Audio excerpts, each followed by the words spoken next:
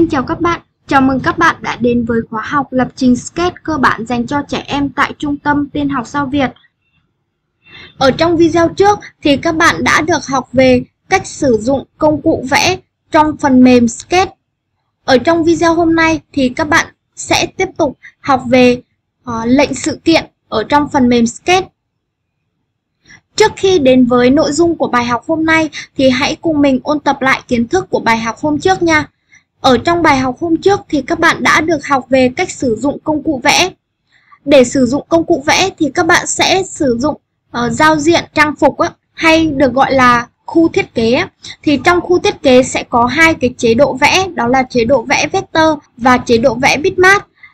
Đầu tiên là các bạn đã học về chế độ vẽ bitmap thì bao gồm đặc điểm này, các công cụ sử dụng và giao diện của chế độ bitmap. Ở chế độ bitmap, các hình ảnh sẽ được tạo nên từ các dấu chấm nhỏ hay còn được gọi là điểm ảnh. Khi phóng to hình ảnh trong chế độ bitmap thì chất lượng hình ảnh sẽ giảm, bị mờ đi. Cái này người ta sẽ gọi là cái hiện tượng vỡ ảnh trong chế độ bitmap. Ok, tiếp theo các bạn đã học về uh, các nút điều khiển công cụ vẽ và ô chọn màu ở trong chế độ bitmap. Tiếp theo là công cụ lấy màu và vùng tùy chọn ở trong chế độ bitmap. Thì những cái này sẽ nằm ở trong giao diện của chế độ bitmap nha. Tiếp theo thì các bạn uh, đã được học về chế độ vector bao gồm đặc điểm là khi phóng to hình ảnh thì uh, hình ảnh đó sẽ không bị nhòe, không bị vỡ ảnh. Thì cái chế độ vector này nó sẽ khác với chế độ bitmap ở điểm đó.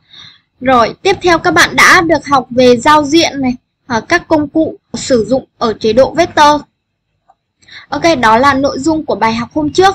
Tiếp theo, đến với bài học hôm nay thì các bạn sẽ học về lệnh sự kiện ở trong phần mềm Sketch. Vậy thì lệnh sự kiện là gì? À, đầu tiên mình có một cái ví dụ như sau. Khi gặp đèn đỏ thì dừng lại. Thì ở đây đối với câu này thì mình sẽ chia ra à, hai vế Vế đầu tiên đó là khi gặp đèn đỏ thì cái vế này á sẽ được gọi là điều kiện nha. Đó, điều kiện. Và vế thứ hai đó là phải dừng lại. Thì đối với cái vế này thì mình sẽ gọi là uh, cái vế hành động nha. Tức là khi xảy ra một cái điều kiện nào đó thì hành động đó sẽ diễn ra. Ok, thì mình sẽ có cấu trúc của lệnh sự kiện như sau. Khi xảy ra một sự kiện nào đó thì hành động khác sẽ diễn ra. Ví dụ khi gặp đèn đỏ thì hành động dừng lại sẽ diễn ra. Ok, trong sketch thì câu lệnh sự kiện được dùng để điều khiển nhân vật hay chương trình nha. Tiếp theo mình sẽ đến với các lệnh sự kiện thường dùng trong phần mềm sketch. Ở đây thì mình có đưa ra cho các bạn giao diện của các khối lệnh sự kiện hay thường được sử dụng bao gồm uh, nút bấm vào này khi mình chọn vào một cái sự kiện ở uh, các khối lệnh trong sự kiện này ấy, thì mình sẽ thực hiện hành động tiếp theo đó là bắt đầu chương trình chẳng hạn. Rồi, phím tiếp theo đó là khi mình bấm phím trắng đi thì nó sẽ tạo ra một cái hành động khác diễn ra. Ví dụ như là di chuyển nhân vật 10 bước thì đối với cái hành động này thì mình sẽ kết hợp với các khối lệnh chuyển động khác. Tiếp theo, lệnh thứ ba ở ví dụ khi các bạn click vào nhân vật thì nó sẽ xảy ra một cái hành động nào? Ví dụ như là phát ra âm thanh hoặc là lệnh dưới là khi chúng ta nhận được cái tin nhắn thì nó sẽ dừng toàn bộ chương trình. Ok, đó là ý nghĩa của các lệnh. Bên trong cái khối lệnh sự kiện này thì ở đây mình sẽ thực hành nhé. Mình sẽ thử ví dụ ở trong phần mềm sketch trực tiếp luôn. Đây là giao diện sketch nha. Đó, khi mình mở lên thì nó sẽ hiển thị giao diện như thế này. Thì ở đây để có thể sử dụng cái ngôn ngữ tiếng Việt ở bên trong này thì mình sẽ thay đổi cái ngôn ngữ nha thay đổi ngôn ngữ thì các bạn sẽ chọn vào cái biểu tượng phía trên này để thay đổi và chọn vào cái ngôn ngữ tiếng Việt rồi giờ để có thể truy cập trực tiếp đến cái khối lệnh sự kiện thì các bạn sẽ chọn cho mình cái biểu tượng khối lệnh sự kiện màu vàng này nha thì nó sẽ di chuyển tới cái giao diện khối lệnh sự kiện bên cạnh cho các bạn. Rồi, giờ ví dụ giờ mình sẽ thực hiện các khối lệnh sự kiện đi. Ví dụ khối lệnh bấm vào cái lá cờ màu xanh này thì đây chỉ là một cái sự kiện thôi, sự kiện. Và giờ các bạn muốn thực hiện một cái hành động sau đó thì các bạn sẽ thực hiện các khối lệnh khác. Ví dụ khối lệnh chuyển động hiển thị hay âm thanh ở phía trên này. Thì giờ mình ví dụ giờ khi mình bấm vào cái lá cờ này đi thì nó sẽ di chuyển nhân vật 10 bước. Thì mình sẽ uh, chọn vào cái khối lệnh chuyển động ở phía trên này và mình sẽ ghép vào bên dưới cái khối lệnh sự kiện này. Và khi các bạn tích chọn vào cái lá cờ màu xanh này, đó thì con vật sẽ di chuyển 10 bước. Hoặc giờ mình sẽ tách ra này. Đó, mình sẽ ờ, ví dụ khi bấm vào cái lá cờ thì nó sẽ, con vật sẽ xoay 15 độ thì mình sẽ ghép cái khối lệnh xoay 15 độ nha. Và mình sẽ tích chọn vào lá cờ này. Đó thì con vật sẽ xoay 15 độ. Rồi, tiếp theo này, ví dụ giờ mình chọn một cái sự kiện nào khác đi. Các bạn lưu ý là các bạn khi mà các bạn chỉ sử dụng mỗi cái khối lệnh sự kiện thôi mà các bạn không kết hợp với các khối lệnh khác để tạo ra hành động khác á, thì khi các bạn bấm vào thì đối tượng nhân vật sẽ không có thực hiện cái hành động nào đâu nha. Các bạn phải sử dụng một cái khối lệnh sau đó hay còn được gọi là hành động xảy ra tiếp theo á. Ok ví dụ khi các bạn bấm phím đi thì nó sẽ hiển thị ra tin nhắn là uh, xin chào. Hiển thị ra tin nhắn xin chào. Thì ở đây mình sẽ kéo cái khối lệnh sự kiện khi bấm phím đi.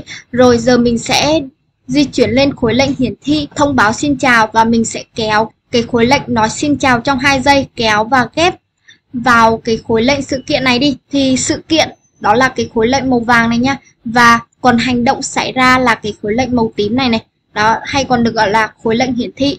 Và giờ khi mình bấm vào cái phím trắng phím trắng tức là cái phím space ở bàn phím máy tính á thì uh, ngay sau đó con vật sẽ hiển thị ra tin nhắn xin chào ở phía trên á. Thì ở đây chỉ hiển thị có hai giây thôi cho nên khi mà tin nhắn hiển thị đúng hai giây thì nó sẽ dừng cái tin nhắn đó nha. Các bạn muốn lâu hơn thì các bạn sẽ tăng cái thời gian đi. Rồi các bạn nhấn phím space trên bàn phím đó thì nó sẽ hiển thị cái câu xin chào ở phía trên nhân vật. Hoặc uh, các bạn có thể thực hiện một cái sự kiện nào khác. Ví dụ khi các bạn bấm vào đi các bạn không muốn sử dụng phím space các bạn muốn sử dụng cái phím khác thì các bạn sẽ chọn vào biểu tượng mũi tên ở bên cạnh này nha. Rồi các bạn uh, sẽ uh, thực hiện mũi tên lên đi hoặc mũi tên xuống mũi tên phải hoặc mũi tên trái hoặc một cái phím bất kỳ trên bàn phím á đó thì khi các bạn uh, tích chọn một cái phím bất kỳ trên bàn phím thì nó đều hiển thị ra cái câu nói mà các bạn đã cài đặt bên dưới này nha. Rồi ví dụ mình chọn uh, một cái phím bất kỳ đi. Đó thì ngay lập tức con vật sẽ hiển thị ra cái uh, câu hùm mà mình đã áp dụng ở bên dưới. Và lưu ý câu này thì mình sẽ thực hiện cái câu nói hiển thị trong 2 giây nha. Ok hoặc khi mình bấm vào nhân vật này thì nó sẽ đi tới một cái vị trí ngẫu nhiên đi thì ở đây mình thay đổi cái vị trí ngẫu nhiên hoặc là các bạn sẽ thay đổi lựa chọn thứ hai đó là con chó chuột. Tức là nó sẽ di chuyển tới cái vị trí con chó chuột mà các bạn đã đặt. Thì ở đây mình sẽ chọn vào cái vị trí ngẫu nhiên đi. Thì ở đây khi mình tích chọn vào nhân vật đó thì nó sẽ di chuyển uh, xuống dưới này. Đó. Hoặc các bạn muốn uh, thay đổi là khi mình bấm vào nhân vật thì nó sẽ di chuyển uh, đi tới con chó chuột. Thì ở đây mình tích chọn này đó thì nó sẽ di chuyển con chó chuột này hoặc mình tích chọn vào cái nhân vật đó thì nó sẽ di chuyển theo hướng con chó chuột nha. Đó con chó chuột. Rồi. Rồi đó là cái khối lệnh sự kiện bên dưới khi bấm vào nhân vật. Hoặc các bạn uh, muốn chọn là khi nhận một tin nhắn đi, ở đây mình có hai sự lựa chọn, đó là tin nhắn một hoặc là một cái thông báo mới.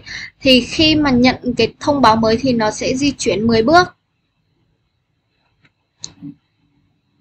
Và cái tin nhắn này thì mình sẽ thay, mình sẽ thêm cái nói xin chào ở bên dưới khi nhận tin nhắn và mình sẽ tích chọn vào. Đó. Thì khi mà ờ, hiển thị cái lời nói xin chào thì nó sẽ di chuyển 10 bước đó.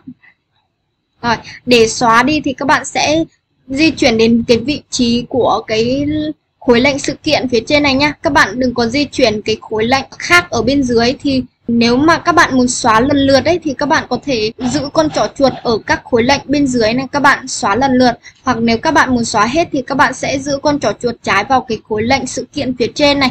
Và các bạn sẽ kéo sang bên trái nha đó, thì nó sẽ xóa. Ví dụ giờ mình sẽ uh, sử dụng các khối lệnh bên dưới. Ví dụ khi bấm vào cái hình lá cờ thì nó sẽ lặp lại uh, lặp lại cái lặp lại di chuyển 10 bước đi. Đó rồi mình sẽ bấm vào hình lá cờ. Đó thì nó sẽ lặp lại 10 lần cái khối lệnh di chuyển 10 bước. Hoặc là uh, di chuyển 10 bước xong thì xoay uh, 15 độ. Rồi giờ mình sẽ bấm vào cái hình lá cờ. Đó di chuyển 10 bước và xoay nhân vật 15 độ rồi giờ mình sẽ xóa. Lưu ý là để kéo cái khối lệnh ra ấy, thì các bạn giữ con trỏ chuột trái nha. Giữ con trỏ chuột trái và kéo ra nha. Khối lệnh đó sẽ di chuyển ra giữa này cho các bạn thực hiện nha. Hoặc ví dụ giờ mình sẽ thực hiện uh, khối lệnh uh, khi bấm vào phím trắng đi thì nó sẽ thực hiện uh, cái hành động khác bên dưới này đi. Ví dụ như là um, thay đổi y một lượng 10 đi. Rồi đó, khi mình nhấn space thì con vật sẽ di chuyển lên nha. Vì ở đây trục y của mình đơn vị là dương á cho nên con vật sẽ di chuyển theo hướng lên trên nha. Rồi hoặc ví dụ là thay đổi x một lượng thì tức là một lượng dương thì tức là nhân vật sẽ di chuyển sang bên uh, phải nha. Đó, sang bên phải. Còn nếu các bạn thay đổi uh, sang cái đơn vị âm á sang đơn vị âm thì con vật sẽ di chuyển sang bên trái nha đó, sang bên trái vì trục x mang đơn vị dương thì nó sẽ di chuyển sang bên trái giao diện Ok, vậy là mình đã hướng dẫn xong cho các bạn lệnh sự kiện trong phần mềm Sketch. Mời bạn sẽ sang tiếp video tiếp theo.